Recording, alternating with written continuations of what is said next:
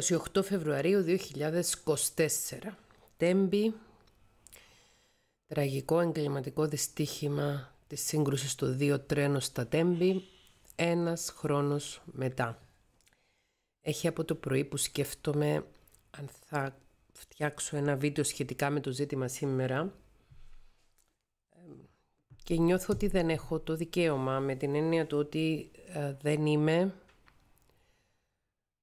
ούτε ένας άνθρωπος που έχει χάσει δικό του πρόσωπο, παιδί, αδελφό, σύντροφο, φίλο, στο δυστύχημα των τεμπών, ούτε είμαι ένας άνθρωπος που έχω επηρεαστεί άμεσα από το δυστύχημα, από το τραγικό εγκληματικό δυστύχημα που έγινε ένα χρόνο πριν.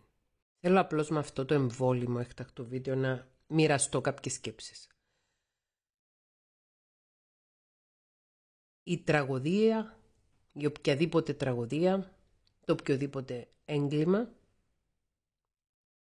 η οποιαδήποτε βίαιη διακοπή της ζωής μπορεί να συμβεί ανα πάσα στιγμή στον καθένα μας. Όπως είχαμε συζητήσει και πέρσι, κάναμε σχετικά βίντεο τότε και live, ε, τέτοιες περιστάσεις τέτοιες συνθήκες μας κάνουν να αντιλαμβανόμαστε και να συνειδητοποιούμε την ουσιαστική ανασφάλεια που έχουμε όλοι στη ζωή μας, τη ρεαλιστική ανασφάλεια. Δεν ζούμε σε ένα κενό, ζούμε σε μια κοινωνία, ζούμε σε ένα οργανωμένο νότ ανοργάνωτο κράτος και οι πράξεις του ενός επηρεάζουν αλυσιδωτά και τους άλλους ανθρώπους. Είναι αλήθεια ότι εμείς οι άνθρωποι προσπαθούμε με όλους τους τρόπους, καθώς μεγαλώνουμε και καθώς αναπτυσσόμαστε, να ελέγχουμε τη ζωή μας. Η αίσθηση ελεγχού ή καλύτερα η ψευδέστηση ελεγχού είναι αυτή που μας δίνει μια κάποια ισορροπία σε συνεργασία με άλλες εσωτερικές διεργασίες συναισθηματικές και πνευματικές. Είναι κάτι που υπαρξιακά δεν μπορούμε παρά να παραδεχθούμε ότι δεν είναι στα χέρια μας. Δυστυχώς δεν είναι στα χέρια μας να προστατέψουμε τον εαυτό μας, να προστατέψουμε τα παιδιά μας, να προστατέψουμε τα αγαπημένα μας πρόσωπα από ξαφνικές τραγωδίες. Ξαναλέω, οι τραγωδίες μπορεί να είναι εγκλήματα, μπορεί να είναι δυστυχήματα, μπορεί να είναι φυσικές καταστροφές.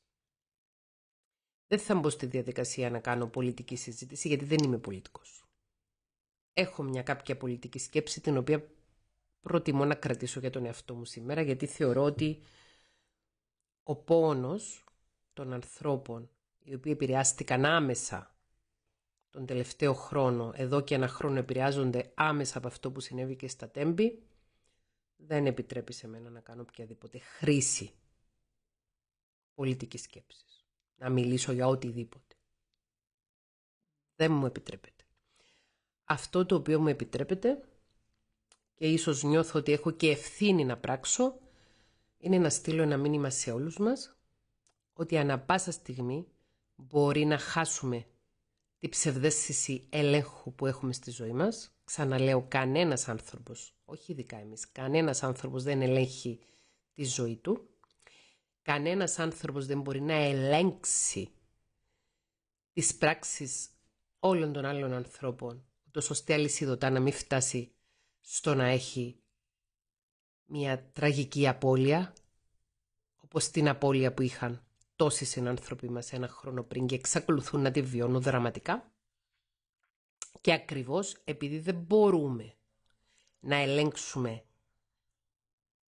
τη ζωή μας ρεαλιστικά, αυτό που μπορούμε να πράττουμε προκειμένου να είμαστε προετοιμασμένοι εάν τυχόν ομιγέννητο συμβεί και σε μας προσωπικά μια τέτοια τραγωδία είναι να ψυχοεκπαιδευόμαστε, να κρατιόμαστε σε ψυχοσυναισθηματική οριμότητα και εγρήγορση, ούτως ώστε εάν ομιγέννητο ξαναλέω συμβεί κάτι τέτοιο, να μπορέσουμε να χρησιμοποιήσουμε όλα τα εργαλεία διαχείρισης τραύματος και διαχείρισης πένθους που που μαθαίνουμε και μέσα από αυτό το ψυχοεκπαιδευτικό κανάλι και από οποιασδήποτε άλλες ψυχοεκπαιδευτικές οδούς και μέσα από την ψυχοθεραπεία. Η ζωή είναι απρόβλεπτη, απρόβλεπτα μπορεί να προκύψουν όμορφα πράγματα, απρόβλεπτα μπορεί να προκύψουν τραγωδίες στον καθένα από μας. Κανείς δεν εξαιρείται από την ανθρώπινη τραγωδία, κανένας άνθρωπος. Σε όποια ηλικία και αν είναι, όποια κοινωνική θέση και αν κατέχει, όσα χρήματα και αν κατέχει ή οποιαδήποτε άλλα, ξέρω εγώ, εφόδια, είτε υλικά είτε πνευματικά μπορεί να έχει. Δυστυχώς, ο θάνατος και η τραγωδία είναι συνειφασμένα με την ανθρώπινη ζωή. Εύχομαι καλή δύναμη στους ανθρώπους που πενθούν και τον τελευταίο χρόνο λόγω του εγκληματικού δυστυχήματος των τεμπών αλλά και σε οποιονδήποτε άλλον άνθρωπο πενθεί για δικές του προσωπικές συνθήκες στη ζωή. Καλή δύναμη.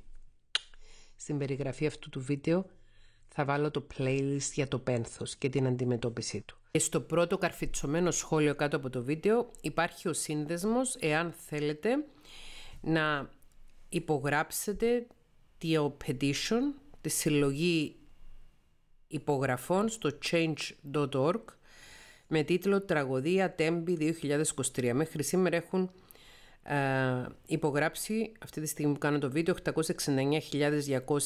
869.227 άνθρωποι και 81.491 άνθρωποι έχουν υπογράψει μέχρι σήμερα. Ε, παρόλο που όταν κάποιος πάει να υπογράψει το petition ε, του ζητάει αν θέλει να δώσει χρήματα δεν απαιτείται πληρωμή. Αυτό το petition, αυτή τη συλλογή υπογραφών έχει ξεκινήσει η Μαρία Κριστιανού. Διαβάζω τώρα εδώ το κείμενο. Οι Έλληνες πολίτες απαιτούν από τη Βουλή την έναρξη των διαδικασιών για την αναθεώρηση του συντάγματος και την ενεργοποίηση του νόμου περί ευθύνης υπουργών, καθώς και την κατάργηση της βουλευτικής ασυλίας όταν προκύπτει ποινική ευθύνη πολιτικών προσώπων. Η ατιμορρησία πολιτικών προσώπων δεν συνάδει με την ηθική ούτε με τη δημοκρατία, αρετές για τις οποίες είμαστε περήφανοι. Κατά τη διαδικασία θα σας ζητηθεί χρηματικό ποσό το οποίο είναι προαιρετικό και δεν αφορά το Σύλλογο Τέμπη 2023, αλλά την πλατφόρμα που φιλοξενεί το ψήφισμα. Επιλέγετε την κοινοποίηση αντί της κατάθεσης χρημάτων με email επιβεβαίωσης ώστε να είναι έγκυρη η υπογραφή σας. Και στην περιγραφή του βίντεο και στο πρώτο καρφιτσωμένο σχόλιο κάτω από το βίντεο θα βρείτε το σύνδεσμο για να υπογράψετε αυτό το petition. Και νομίζω ότι όλοι μας έχουμε παρακολουθήσει την εξαιρετικά συγκινητική και δυνατή ανθρώπινη τοποθέτηση της Μαρίας Κριστιανού, της μητέρας ενός από τα θύματα του εγκληματικού δυστυχήματος των τεμπών. Εύχομαι να είναι η τελευταία φορά που συμβαίνει κάτι τέτοιο στη χώρα μας και εύχομαι καλή δύναμη σε όσους βιώνουν τραγωδίες και πένθη.